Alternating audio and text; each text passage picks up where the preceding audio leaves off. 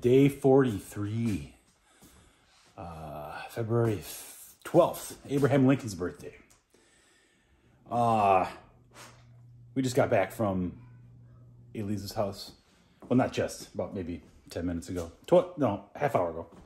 Um, Mia's going to bed now. It is late, but I had a I needed to make guacamole because I said I was going to make it. So I'm making it right now. There it is. Oh, and it's good. It is really good. So I'm to finish I'm to watch some curling and then go to bed.